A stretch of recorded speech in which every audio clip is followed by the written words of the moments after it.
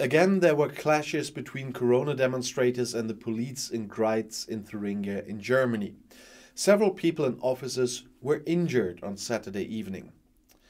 Well, so several demonstrators and police officers were injured during a protest against the federal and state policy for Corona in Greiz in East Thuringia in eastern Germany.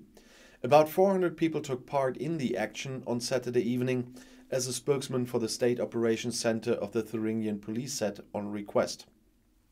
The police have stopped the planned move through the city. Pepper sprays and batons were used. Six demonstrators and four police officers were injured. In Greiz, there had already been clashes between demonstrators and the police in the past few weeks, so this was unfortunately not a new. A total of more than a thousand participants came to the protest actions on New Year's Day in Thuringia.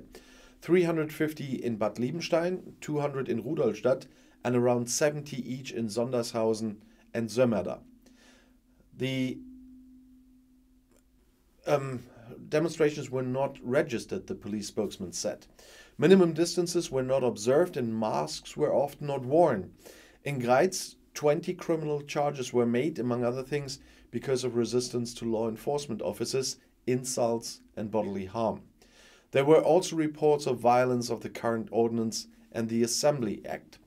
According to the police, around 370 people in Thuringia took part in six protests against the corona policy on New Year's Eve. And I'll see you in my next video. Bis gleich.